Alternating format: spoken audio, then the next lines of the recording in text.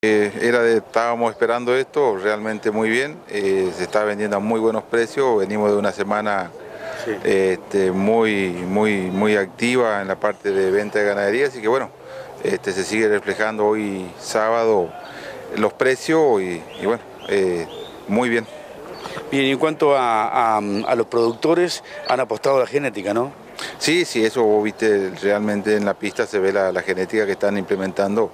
Este, hoy creo que un menor esfuerzo invertir en genética porque está dada en toda la, en toda la, parte de ganadería como vos quieras hacerlo, se, dan, así que bueno, hoy, hoy es más económico invertir en, en genética que, que, en épocas anteriores, cuando estos 20 años atrás comprar un toro de primera de primera línea no era fácil, tenían que ser productores grandes y hoy está al alcance de la mano el productor pequeño también seguir y mejorar su hacienda en genética, ¿no es cierto? ¿Y esto eh, y, la, cuáles son las exigencias que demandan los frigoríficos, los compradores? Eh, eh, precisamente esto, ¿no? Genética.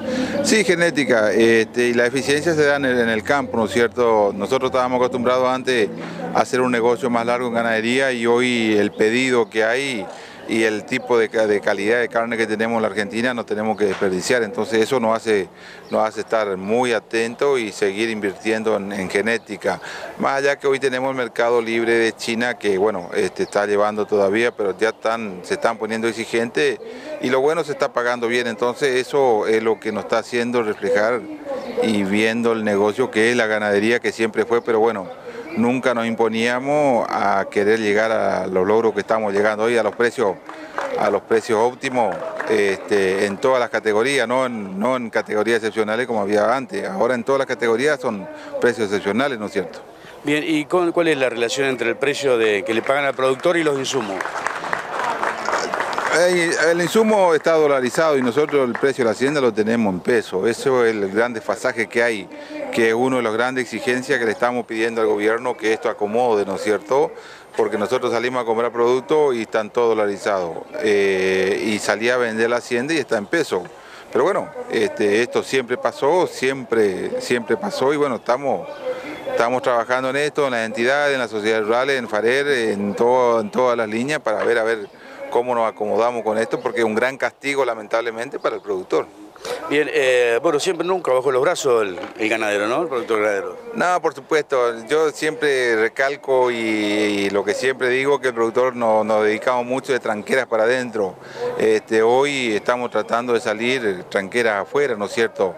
Este, hoy la exigencia, la exigencia es muy mucha y bueno, este, si nosotros seguimos encerrados en lo nuestro, que lo hacemos muy bien, este, sí también tenemos que eh, exigirle a los que nos mandan, a los que nos gobiernan, este, lo que realmente nos merecemos, porque si seguimos produciendo, estamos haciendo las cosas bien y el gobierno no nos responde, bueno, tenemos que levantar la bandera porque ya, ya lo hicimos y bueno, somos, creo que somos un sector que políticamente o a nivel voto no es importante, pero sí cuando nos enojamos, como decimos nosotros los del campo, y salimos, somos fuertes y somos unidos. Pero bueno, este, no tuvo que pasar eso y, creemos, o lo que siempre estamos pidiendo las instituciones como Sociedad Rural y todas las otras instituciones, es no salir a hacer un reclamo porque falta algo en la política. Tenemos que trabajar con los políticos para que nos den lo que tiene que dar, no pedimos nada.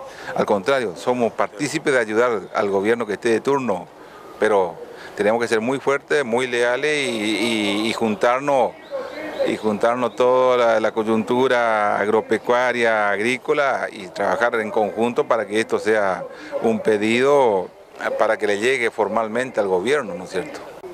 Mira, nosotros a futuro hoy la expectativa es buenísima, tenemos una expectativa que es creciente, que nunca pasó, este, que nunca nos pasó en el sector nuestro este, lo, que estamos, lo que nos está pasando hoy. Pero bueno, este, rogamos que el, que el que le toque ganar, al que nos toque gobernar, que siga con esta actitud que tiene este gobierno hoy, que siga con las puertas abiertas, que no nos cierre, porque es un castigo para el productor, no para lo de afuera.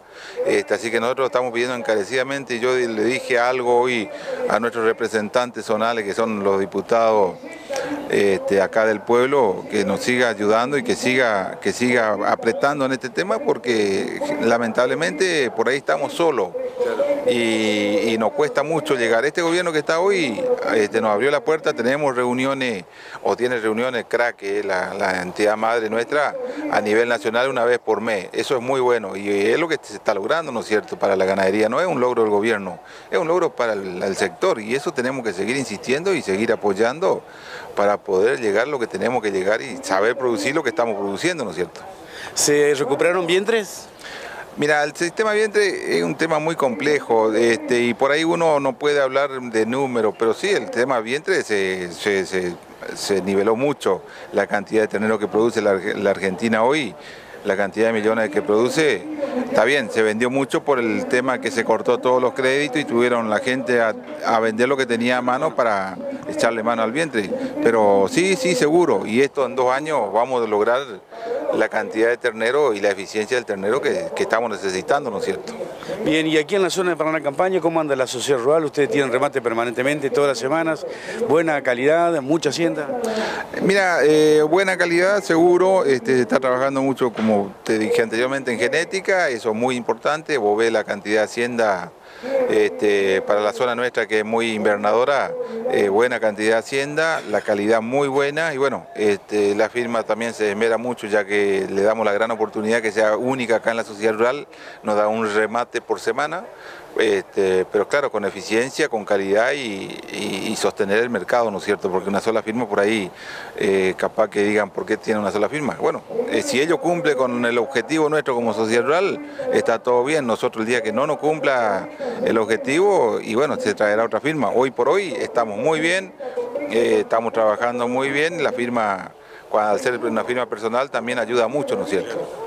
Amarilla, felicitaciones y muchas gracias. ¿eh? No, al contrario, muchas gracias por haber llegado hasta acá y bueno, este, las puertas de la sociedad rural están abiertas para todo el mundo, así que cuando quiera llegarte y lo que esté en nuestro alcance, ningún inconveniente. Muchas gracias.